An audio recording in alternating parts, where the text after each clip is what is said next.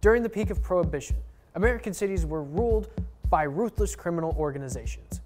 And with the proximity to the Canadian border, one small group of Detroit street kids grew into a bootlegging gang so infamous, even Al Capone feared crossing them. But what made the Purple Gang Detroit's dominant criminal organization at the time? Find out on today's Michigan Moment.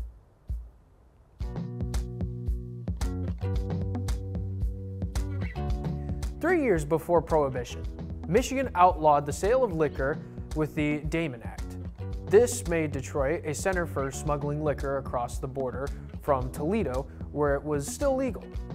With the adoption of the 18th Amendment in 1920, virtually all alcohol sales, possession, and manufacturing were outlawed nationwide. This turned Detroit bootleggers east across the river to Windsor, Canada, for their smuggling needs. The city quickly became a major point of trafficking alcohol into the United States. During this time, the future Purple Gang founders, brothers Abe Joe, Raymond, and Izzy Bernstein, were just delinquent students at Detroit's Bishop School. The Bernstein brothers were American born sons of Jewish immigrants from Russia. They moved from New York to Detroit's Lower East Side, an area known as Little Jerusalem back then. Here, they started as petty thieves, but soon the Bernsteins and company graduated to armed robbery and truck hijacking under the tutelage of Detroit mobsters Charles Leiter and Henry Shorr. The gang quickly gained notoriety through hijacking of illegal liquor shipments. There's no confirmed origin of the name Purple Gang. Now, some say it comes from a purple sweater worn by a fellow member. Others say it comes from the Purple Line Cab Company, who aligned with the gang to win a trade war. One of the more popular stories comes from an anecdote about an exchange between two Detroit shopkeepers, one of which said, in regards to the gang, that they weren't like other kids their age, that they were tainted or off color. The other shopkeeper agreed, calling them purple, like the color of rotten meat. Regardless of the name's origin, the Purple Gang garnered a truly rotten reputation. It's estimated that by the mid 20s, the gang was responsible for over 500 murders.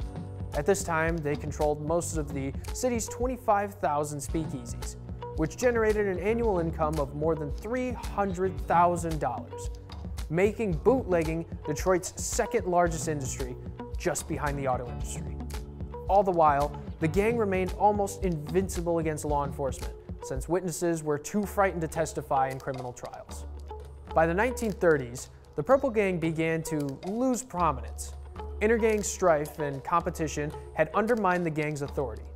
In September of 1931, the gang's leaders invited members Herman, or Hymie Paul, Isidore, or Joe Sutker, and Joe Lebowitz to a kind of peace negotiation to remedy intergang tensions. But when these three members arrived at the Collingwood Manor apartment building, they were all shot dead. After the shooting, Saul Levine, the driver who unknowingly transported the three men to their deaths, was later caught by Detroit police and pressured into testifying. Levine's testimony resulted in convictions for the men involved with the murders. Three of the four men, including the Purple Gang founder Ray Bernstein, were convicted of murder in the third degree and received life sentences. This event, now infamously known as the Collingwood Manor Massacre, marked the downfall of Detroit's Purple Gang. And by 1935, the gang was mostly dissolved. With 18 of its members dead and others in prison, the gang no longer reigned over Detroit's underworld. Thank you for watching this episode. If you'd like to know more about Michigan, leave a comment, and we'll see you next time on Michigan Moment.